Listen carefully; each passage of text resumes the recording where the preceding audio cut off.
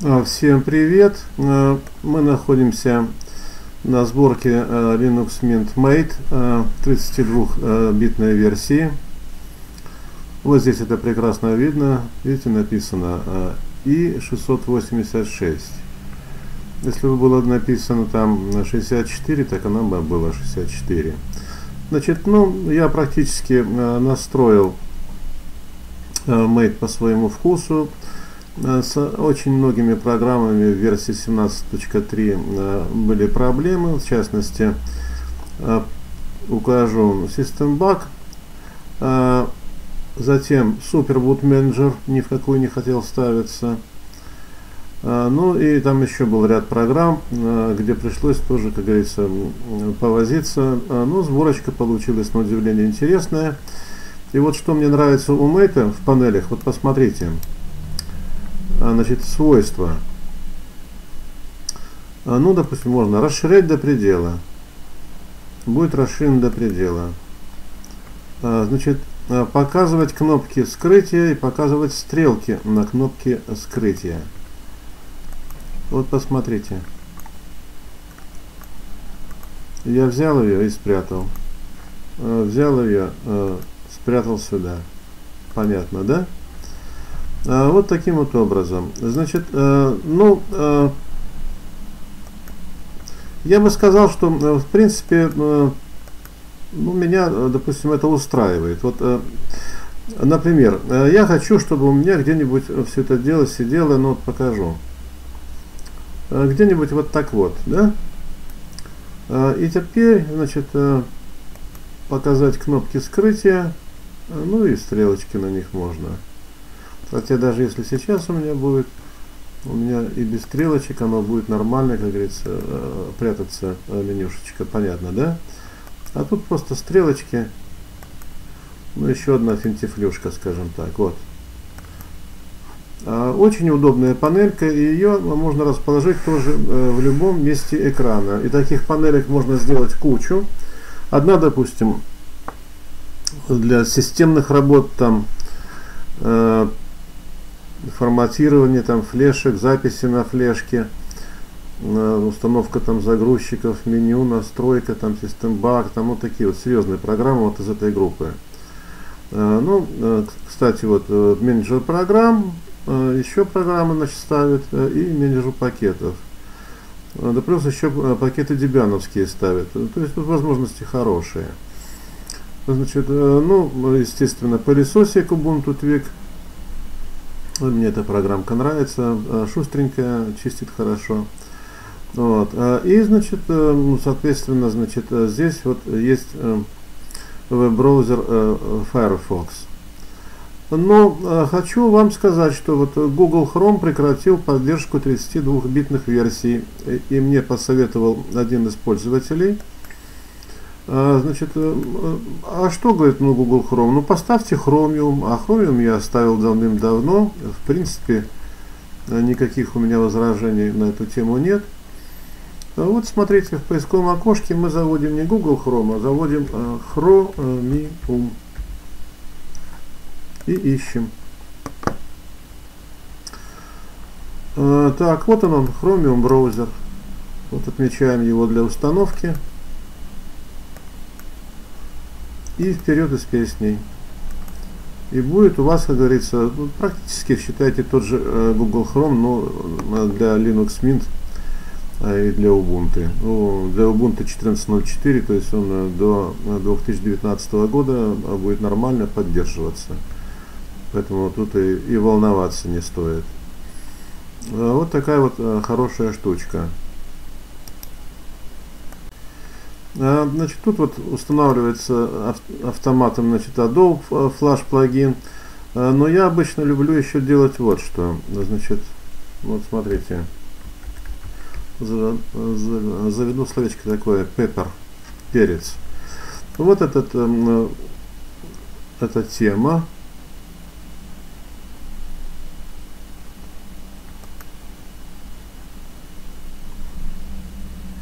А вот флаш плагин.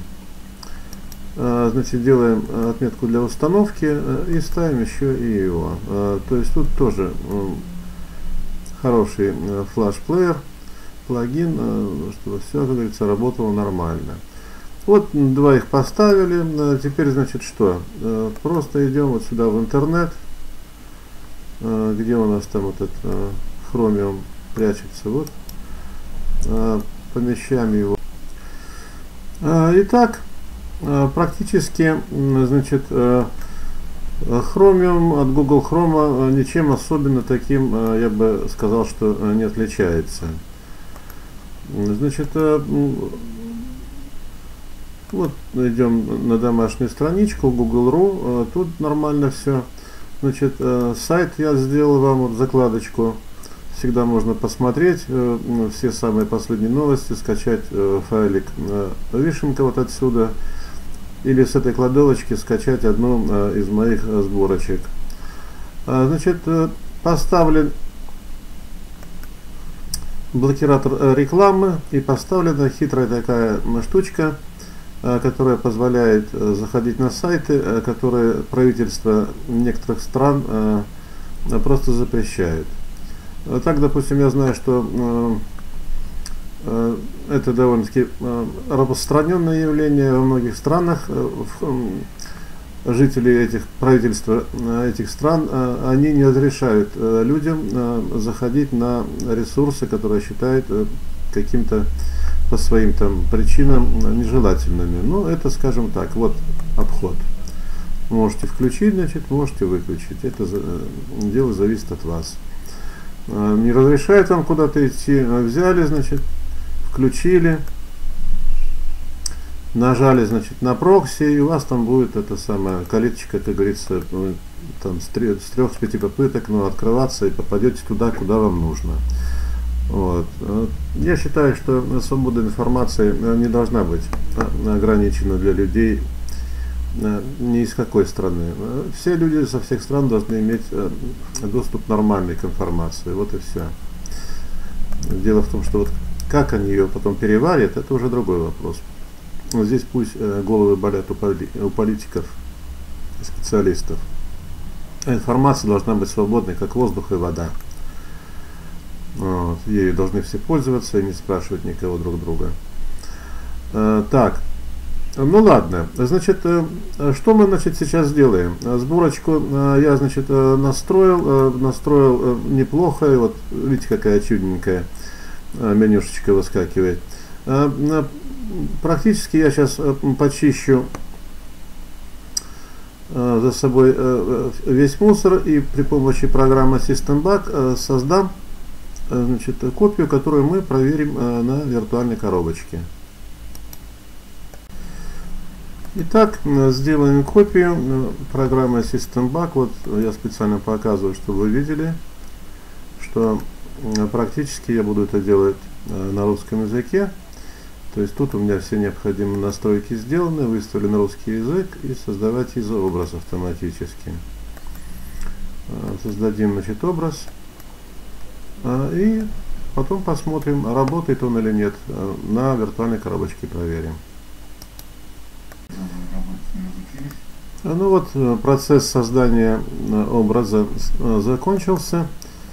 Образ занимает 2,27 э, э, гигабайта.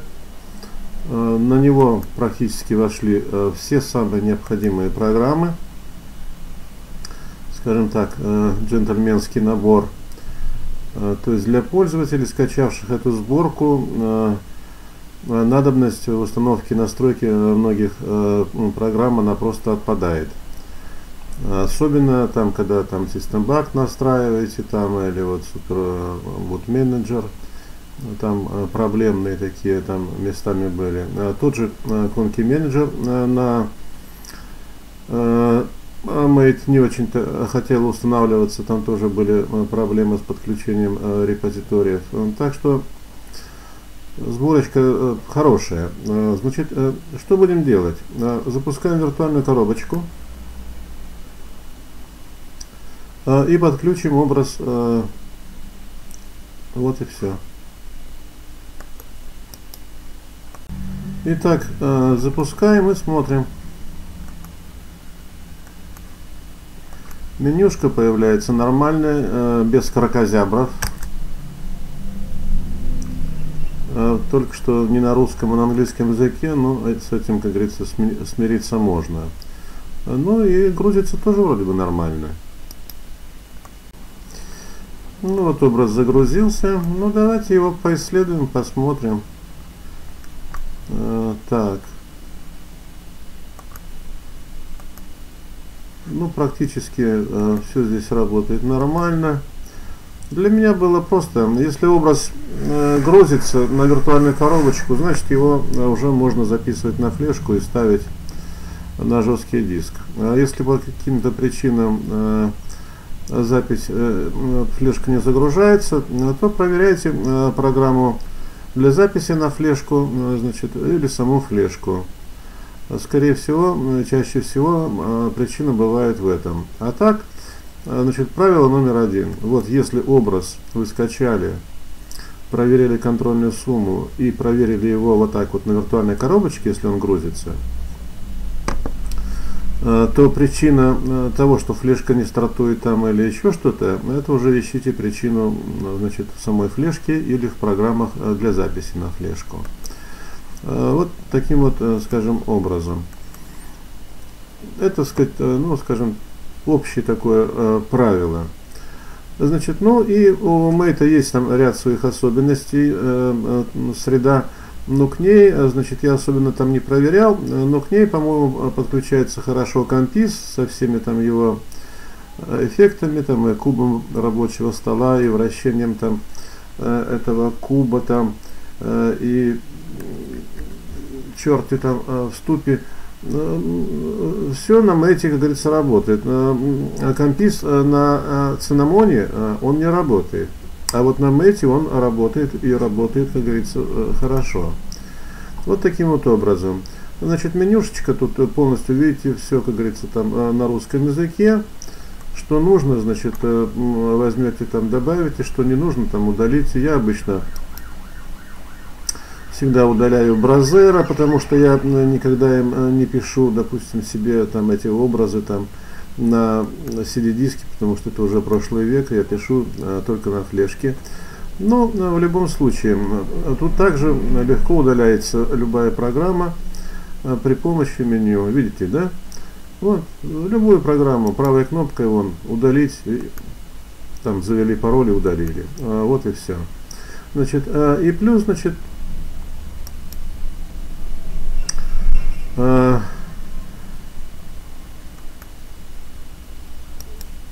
пожалуйста, значит, вот на панелечке у нас э, располагается хороший э, браузер э, Chromium. То есть практически два веб-браузера. Дальше, значит, можно подключить кладовочку на Омега, кладовочку на Dropbox, можно подключить Skype и Skype Tab. Сначала подключается одно, потом выходите из него, подключается другой, настраивается, перезагружаетесь, и Skype Tab у вас нормально работает. Уроки по настройке можно посмотреть на, на моем сайте. А, есть там тонкости небольшие в настройке. Это надо вам будет проделать, скажем так, ручками. Ну, ничего страшного, как говорится. А, кстати, вот как я а, менял, допустим, свойства панели. Посмотрите. Фон. Сделал его непрозрачным. Прозрачным. Вот, пожалуйста, могу сделать его э, непрозрачным. Вот таким образом. Э, то же самое здесь. Э, тут все прозрачное. Э, иду в свойства. Э, выставляю фон. Э, делаю фон э, непрозрачным. Все нормально. Тут, значит, спрашивает, а я ему отвечу, никогда не переводить русский язык, потому что сделан, как говорится, для русскоязычных людей. А, значит, а меню, значит, в хромиуме, оно, скажем так, почему-то не на русском языке, хотя я э, делал здесь настройки, вот э, сеттинги есть. Я здесь заходил сюда, продвинутые настройки, э, смотрел языковые настройки, вот, и выставлял сюда э, вот так вот выставлял русский язык и использовать его для проверки произношения. Э, вот таким вот образом делал. значит, и перезагружал его, и перезапускал, но все равно, видите, менюха не хотелось, не хотела, скажем так, устанавливаться на русском языке. Ну, в конце концов, для любителей Google Chrome это уж, скажем так, не такое уж и большое там событие, в конце концов, с этим можно и смириться. Вот. А так, э, в принципе, абсолютно нормальная э, рабочая сборочка Linux Mint Mate 32-битная. Э, значит, поэтому я значит, вам ее предлагаю вашему вниманию и предлагаю значит, ее потестировать, погонять, как говорится, хвост и гриву, выбрать то, что у вас будет лучше всего работать, ненужное поубирайте. Ну и мне обязательно отпишитесь, легко ли она устанавливалась. Э, потому что вот здесь для установки э, все необходимое есть. Оно уже будет у вас э, сразу на флешке. Вот единственное, я сейчас только заметил, что нет, но я сейчас перезапишу этот образ. Значит, я не выставил сюда программу Gparted. О, даже и не установлено пишет. Ну и ничего страшного нет. Сейчас э, э, мы ее поставим, э, и все будет нормально. Ну вот я закончил установку программы Gparted. Теперь нам надо ее в менюшку поместить. Наберем здесь, допустим, GP. Она обычно сразу появляется. Добавим ее на панельку. И теперь подвинем ее. Обычно я держу ее рядышком всегда вот с этими друзьями, с Систембаком, э, с FS архивером, вот таким вот образом. То есть вот такие вот э, самые необходимые программы, значит, у вас будут уже предустановлены. И что мне нравится в Мэте, значит, вот, раз, значок, и не занимает она вас абсолютно никакого места. Можно убирать ее и влево, как говорится, и вправо, по вашему, как говорится, желанию, по вашему усмотрению. Единственное, значит, э, у Мейта всегда была проблема, вот, э, с, э, изначально, значит, нет флажков раскладки клавиатуры. А мне они очень нравятся. Итак, я желаю вам провести много приятных часов с этой сборочкой Минта с Мейтом. 32-битной версии, если у вас старенький компьютер, 64-битка, если у вас 64-битный компьютер. Значит, в принципе, вещичка любопытная, и мне вот в Мэте всегда нравилась вот такая вот, скажем, красота в управлении вот панелечками, что вот они вот так вот красиво, их можно, как говорится, у них делать их абсолютно не это самое прозрачными э, и очень э, легко прячутся. Причем таких панелек можете хоть 10, хоть 20 сделать. Они у вас в любом случае вот будут занимать совершенно крошечное вот здесь вот место. То есть экономится вот это вот рабочее пространство э, основной панели. И экономится очень здорово. То есть на нем появляются только, скажем, работающие программы. Вот и все. Ну ладно, всего доброго и до новых встреч.